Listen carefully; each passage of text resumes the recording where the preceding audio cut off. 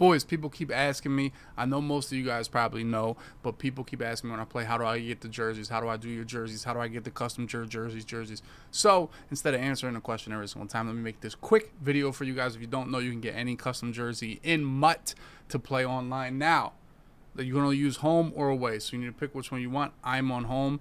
First thing you want to do, and I'll show you guys right now, is you want to make sure that – you're using the default. You see, I see the Eagles base dark, the silver, buy it from the auction house. I don't know if the starter jersey works. I would buy it from the auction house for 30 coins if possible.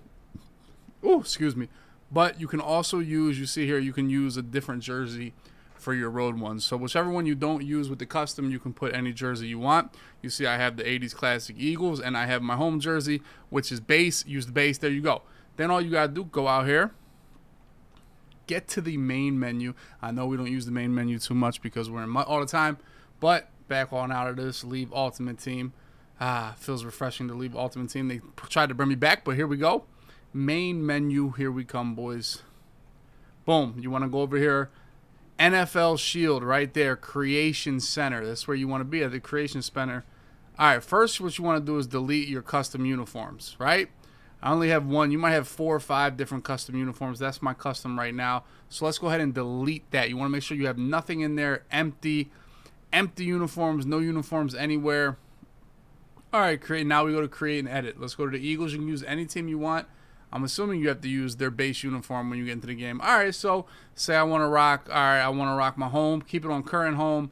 Uh, let's rock the black helmet.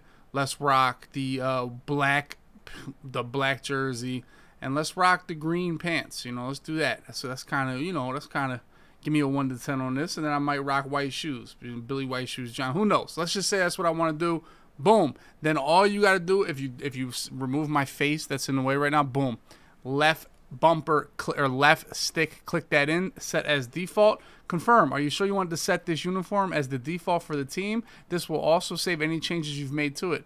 Yes. Boom. Now that's my default home jersey, just like that.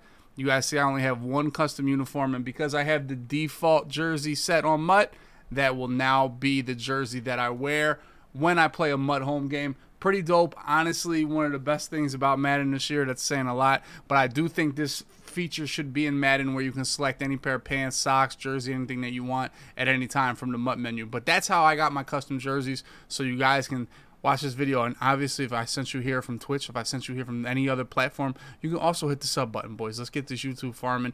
Glad I could help you guys look fly on the field. Let me show me on Twitter some of those jerseys you guys are rocking, some things you cook up because you know, I've been looking at some ugly ones online. Let's see if you guys are any better.